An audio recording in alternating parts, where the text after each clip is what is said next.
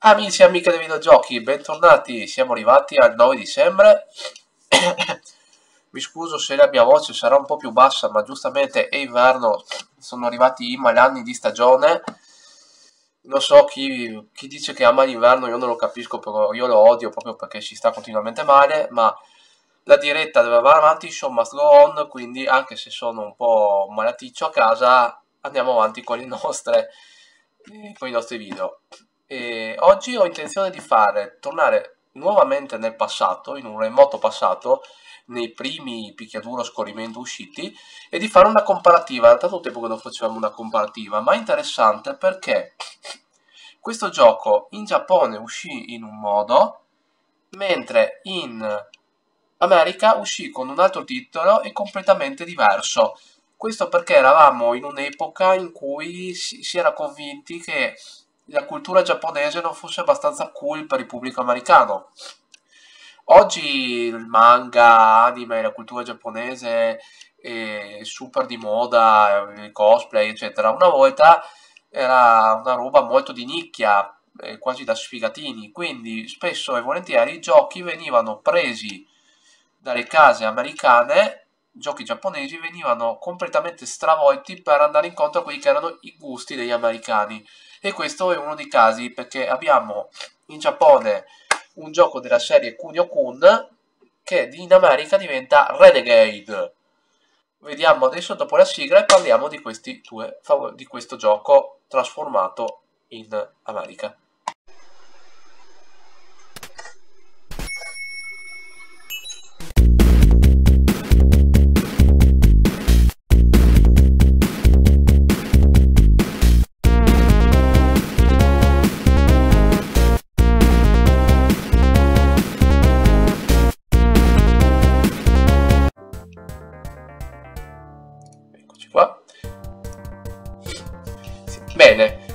Siamo all'anno di grazia 1986.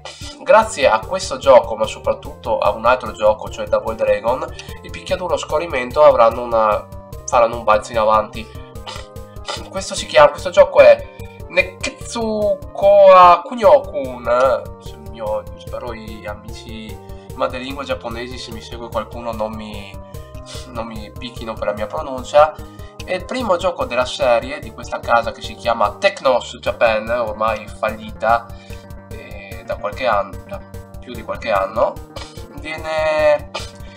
il protagonista è questo Kunio Kun col nome preso dal capo di Technos, Kunio. Il titolo può tradursi come Kunio il duro del sangue caldo. È un tipico gioco ambientato nel teppismo delle scuole giapponesi perché ci dicono moltissime serie giapponesi anime e moltissime eh, robe che abbiamo visto in questi ultimi anni c'è questa grande rivalità tra le bande giapponesi, tra le scuole giapponesi, con le varie bande che si picchiano e lottano fra loro. E il protagonista, infatti, di questa saga è un ragazzo, uno studente di questa scuola, Kunio, che in questo gioco dovrà vendicare uno dei suoi amici che è stato brutalmente picchiato da, da scuole rivali da, da base di squadre rivali. Questo è il primo gioco della serie con Cuneo che voi probabilmente ricorderete per altri giochi sportivi perché poi diventerà la mascotte di Tecnos e verrà utilizzato in un sacco di giochi e soprattutto appunto sportivi, cioè del baseball, calcio, eh, ma soprattutto palla avvelenata, cioè dodgeball, avete presente il film con Ben Stiller? Ci sono un sacco di giochi di dodgeball con protagonista Cuneo. Moltissimi la maggior parte di questi giochi arriveranno da noi, ma con la trama cambiata perché spesso e volentieri gli americani trovavano che la, questa storia di bande giovanili, queste scuole giapponesi, le divise, eccetera, non fossero culturalmente non, non, sarebbero state apprezzate culturalmente dal pubblico americano e quindi spesso prendevano questi giochi, cambiavano i nomi del protagonista, cambiavano un po' la grafica, nel caso di questo gioco la cambiano tantissimo e la versione americana non ha, spesso le versioni americane spesso non ha Kunio Kun ma Alex, Gino, Pino, cioè diventa un altro gioco basato sul motore di questi, specialmente spesso, spesso volentieri arrivavano da noi convertiti da Taito. Questo gioco in America diventerà Renegade e cambierà completamente trama e anche grafica. Cos'ha di interessante questo gioco? è un picchiaduro a scorrimento che presenta un, uno scrolling orizzontale ma in realtà anche leggermente verticale ci sono dei eh, un sacco di mosse prese varie varie caratterizzato da una difficoltà orrenda nel senso è invecchiato veramente male perché io onestamente non riesco neanche a superare il primo livello. E ha la possibilità di uccidere i nemici istantaneamente buttandoli fuori dal bordo del... se andate avanti avanti avanti scorrendo a un certo punto finisce la piattaforma e potete buttarli giù perché qui è, la... è tipo la stazione dei treni potete buttare i nemici dai binari ma vi possono buttare giù anche voi. La versione da sala giochi è difficilissima perché ha una vita nei regolazioni normali due vite se regolate facili non c'è possibilità di continuare quindi è un gioco estremamente punitivo. Inoltre ha una caratteristica che per i più può essere innovativa, in realtà io ho sempre odiato, cioè proprio mi flippa il cervello. Solitamente voi andate a destra, a sinistra con il joystick e poi date i pugni in una direzione o nell'altra, cioè c'è sempre il tasto di pugno, a seconda di dove siete rivolti date il pugno a destra e a sinistra. Qui no, qui c'è un tasto per dare i pugni a destra e un tasto per dare i pugni a sinistra io lo so voi, a me sta cosa manda fuori, non riesco a farlo, cioè un tasto, cioè dover ogni, ogni, ricordarmi che quando mi giro dall'altra parte devo premere un altro tasto per dare il pugno, a me sinceramente non ce la faccio, sono vecchio. Questo gioco è stato famoso ma poi la sua, eh, diciamo, nella storia è uscito subito dopo Double Dragon e Double Dragon ha fatto la storia di picchiaduro molto più di questo ma è comunque interessante vederlo per tutti questi discorsi un po' per il suo particolare sistema di controllo un po' per il fatto che ha creato questo personaggio simbolo che avrà tantissimi tantissimi giochi e sono molto carini quelli di Dodgeball ve li consiglio perché sono molto umoristici. Ma cominciamo a fare una partita giusto per farvi capire la difficoltà oscena di questo gioco a Kunio Kun versione giapponese. Vedete qui i nemici picchiano l'amico di Cuneo e Cuneo corre a in alto potete vedere il boss finale del livello che viene fuori quando c'è questo tasto di salto anche. E vedete io adesso devo andare di qua devo ricordarmi che devo usare questo altro pugno questo altro tasto per dare i pugni a destra e a sinistra cioè, cioè è difficilissimo. I nemici fanno malissimo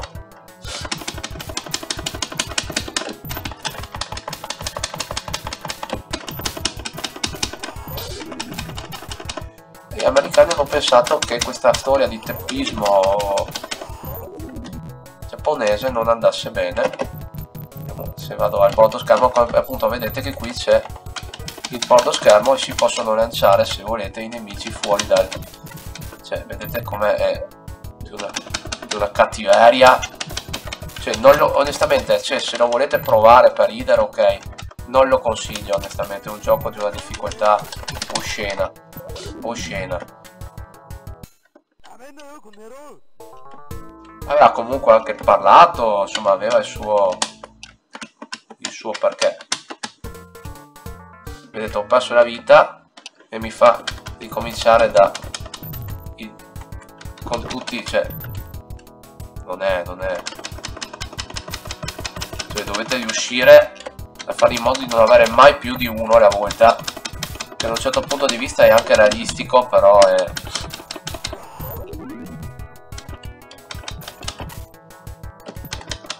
no.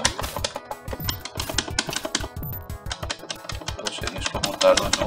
Sì vedete? Si può buttare giù i nemici. Eh vede, mi dimentico di cambiare tasto cioè non è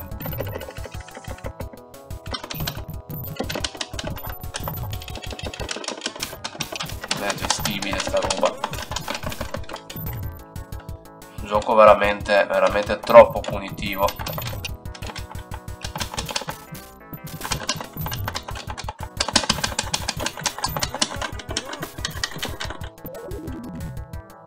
Bene, perso già la vita.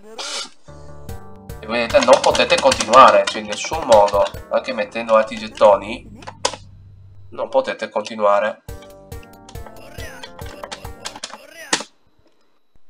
Diciamo, eh, Cugno Cuneo è importante per l'immaginario che ha, perché ha questo tipo di personaggi, cioè Cugno è il tipico teppista giapponese degli anni 80, cioè con quella cresta tipo Elvis, con quelle cose. Guardate ad esempio, vi mando un, un'immagine di un anime di quegli anni, e questo è, vediamo se trovo l'immagine, ecco, questo è ad esempio Kuwabara, Kuwabara è uno dei coprotagonisti di Yu degli Spettri, un anime molto carino di Togashi. Come potete vedere è praticamente uguale a Kunio perché i teppisti giapponesi erano fatti così. Adesso invece passiamo alla versione americana di questo gioco che si chiama Renegade, è uscita lo stesso anno, però come vi ho detto hanno pensato che in America non avrebbe funzionato e l'hanno rimaneggiata per farla digerire a un pubblico americano. Operazione abbastanza penosa secondo me, ma interessante da capire com'era la cultura di quegli anni. Via con Renegade. Bene, Renegade, vedete è cambiata completamente la schermo di titolo, aspettate che basso un po' il volume perché sennò mi hanno detto che il volume del gioco è troppo alto, quindi come potete vedere la grafica è stata completamente rimaneggiata. Non c'è più la stazione del treni, ma c'è una metropolitana americana. nessuno è più vestito da studente giapponese, ma sono tutti vestiti da teppisti. E la trama è stata completamente cambiata perché mentre in Kunio-kun l'amico di Kunio viene picchiato dai cattivi delle scuole rivali e voi dovete picchiarli alla fine del gioco quando avete, lo avete vendicato c'è i vari studenti che vi danno che vi danno la mano e si congratulano per aver difeso l'onore della scuola. In questo gioco il protagonista è questo Mr. K, che viene chiamato Wayne, mi pare, nelle conversioni per Nintendo, eccetera, eccetera. E gli viene rapita la fidanzata da una banda rivale e alla fine del gioco c'è la classica scena da film americano dove salvi la ragazza, la ragazza ti bacia e finisce così. Il gioco è sostanzialmente identico, cambia solo la grafica e la voce che non sono più credo campionat- campionature giapponesi ma sono campionature americane è molto buffo ma come potete vedere il gioco è sostanzialmente identico ma proprio identico. La difficoltà oscena è sempre quella. Il metodo di controllo insopportabile è sempre quello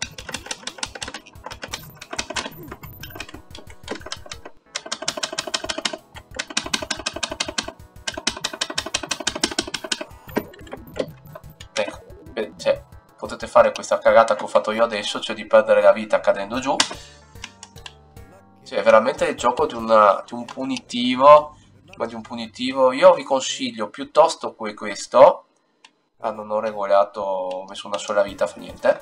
Io vi consiglio piuttosto che questo, eh, uno dei giochi che anzi ve lo, facciamo così, ve lo mostrerò in un'altra puntata del Picchio a Vento, perché più avanti uscirà un gioco con protagonista Cuneo, non vi spoilerò il titolo, perché voglio che sia una sorpresa, che avrà degli elementi RPG, ed è molto bello, è stato fatto anche un remake di recente, e quello ve lo mostro, me lo riservo per un altro, un altro giorno del Picchio a Vento.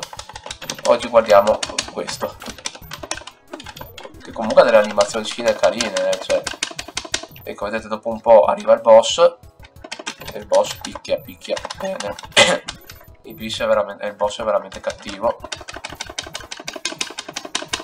Nella versione giapponese tutti i boss avevano il loro nome proprio, perché erano i vari studenti, capi delle bande delle varie scuole, qui è semplicemente boss, andiamo a risparmio,